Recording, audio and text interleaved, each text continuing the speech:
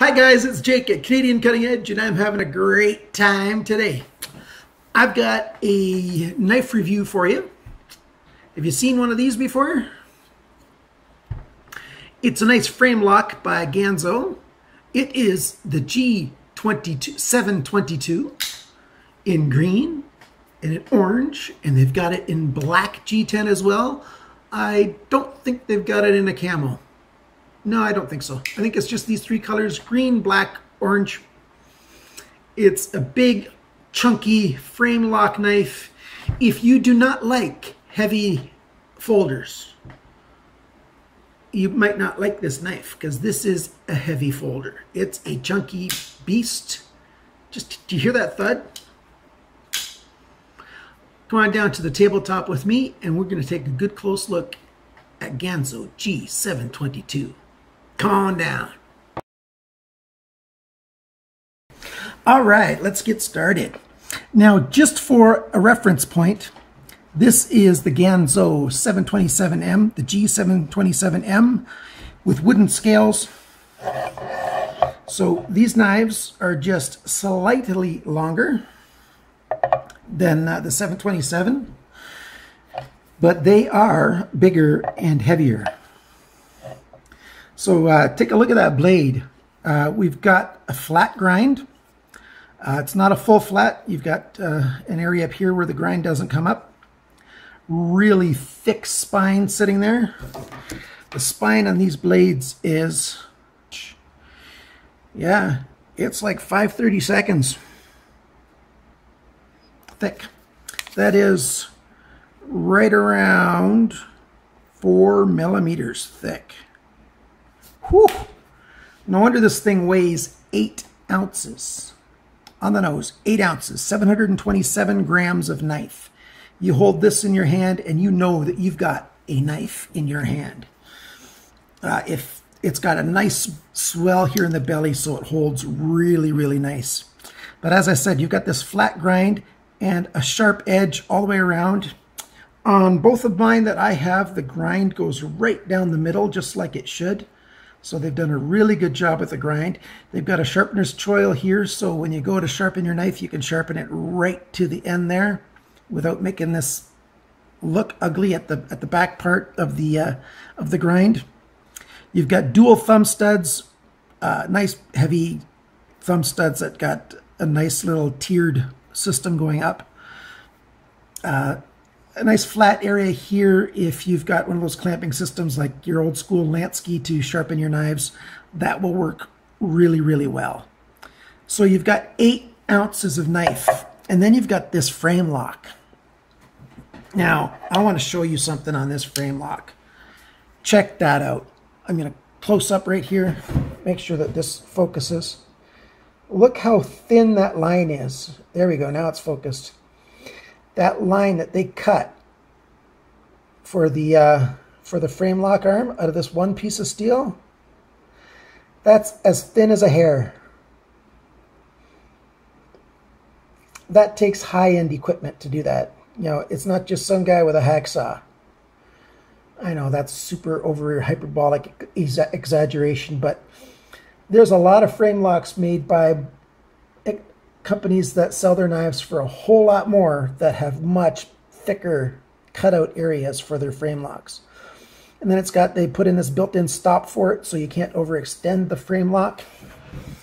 And um, there's the little hole that holds the detent in.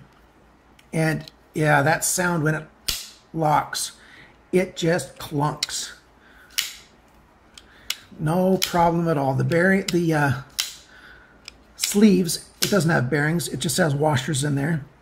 These washers are primo smooth. They are uh, brass, brass, bronze washers on there. I was, I was thinking, I was trying to mix brass and bronze together in one word, wasn't I? Yeah, you got those washers in there and they move very, very smoothly. I have not adjusted the pivot on either of these knives. I just haven't had to. I have not had to lubricate it. The knife came well lubed and uh, you know the blades just slide really, really smoothly. I really like that a lot. You've got an extra little bit of grinding out on this G10 here, so there's no reason you can't get your thumb in there to flick this thing out. It's just, you know, they could have just left the grind the way it was without putting in this little shallow ground out part, but they didn't. They put it in there anyways, and it just flies out. Um, and yeah, it works just as well with the left hand because they put the left stud in there. I am just terrible at flicking my left thumb. I don't know why, because I am, I grew up left-handed as a child. And as soon as I started getting into sports or anything, I got all my brother's hand-me-downs, and they're all right-handed, three older brothers. So I became quite ambidextrous. And for flicking knives with my thumb, I'm better at it with my right hand for some reason. I find knives to be more comfortable, to feel more natural in my left hand. But uh, to open it, I just am better at it with my right. And that's just the way it is. But check out all that texture in that G10. They've milled that to look something like a pineapple texture. I think it looks really, really sharp. Uh, you've got a back spacer made of G10, a big chunk so that the liner, uh, the liner, so that the lanyard hole goes right through like a tunnel. Nice generous size. You can fit the thickest paracord you want through there. No problem at all. Um, the back spacer is fit really, really well. It's a nice and smooth reading from this G10 to the liner to the G10 back to the other side for the frame. And it feels so nice. Stonewash on this back side of the frame, stonewash on the clip. And then you've got your satin blade. It really, really sharp indeed. Uh, it's got this extra texture up here that I, I didn't mention before. Just gives that added little look to it.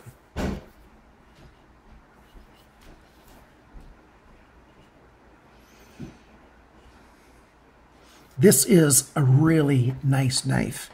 Um, I'm one of those guys who's not afraid of the weight of a knife at all. Uh, afraid's the wrong word, isn't it? Um, I don't mind if a knife is really, really heavy. Uh, because I'm not gonna, I'm gonna EDC this thing.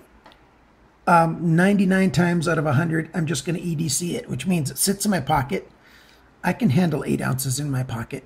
I'm, I'm, yeah, it's just not a problem. Not really.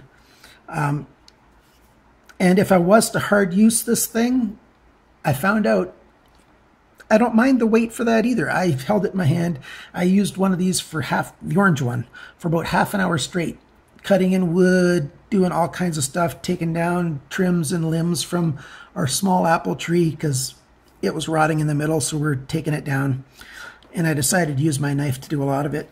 Uh, grab it right here with these two fingers and the, the rest of the hand back here and did some chopping into the wood and it just works great. The weight of this blade just pulls into the wood.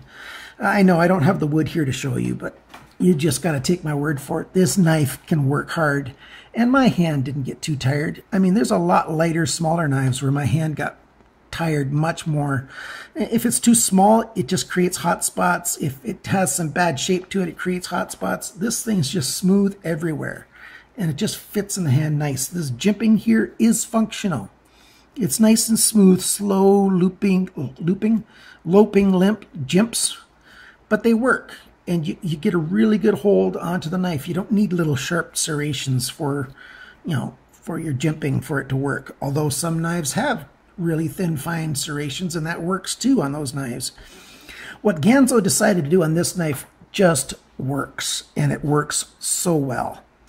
They could have made this frame on this outside edge a little bit lighter, and they could have, um, you know, milled some of it out. I'm going to try to get some light in here. Maybe you'll be able to see right into there.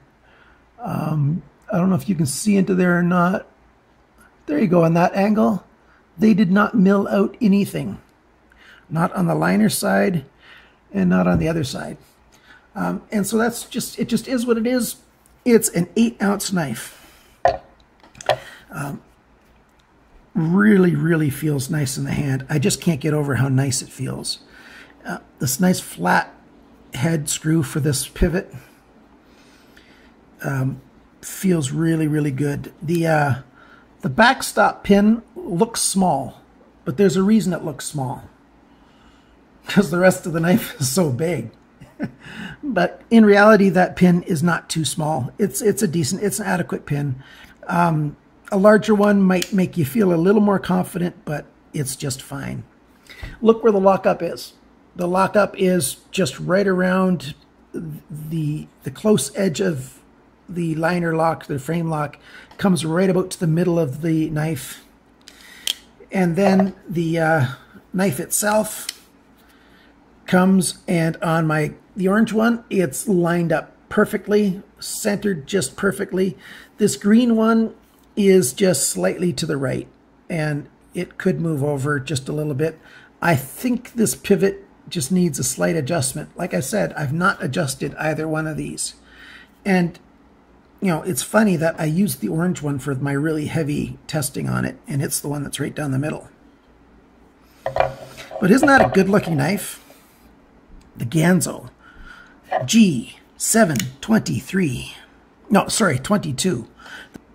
I really, really like this knife, and I like it a lot. I've got, uh, I just got to say that if you don't have one and you're willing to take the leap into a heavier knife, check this one out. Uh, if you like this video, please subscribe if you think I've earned your subscription. And if I haven't earned your subscription, tell me what I can do to do that. Share this video with your friends. Click on that uh, thumbs up and give me a like. And please say something in the comments. Tell me what you want to know. Tell me what you want to hear about. Tell me if there's a knife out there that I haven't reviewed that you think I should review. Um, tell me I'm totally all wet and totally wrong about this knife. I, I accept any and every comment as long as they're put in respectfully and, uh, you know, try to be well spoken. And uh, your comments will be heard. But as long as you make sure you always cut towards your chum and not your thumb, and all will be good. Thanks for watching. Bye now.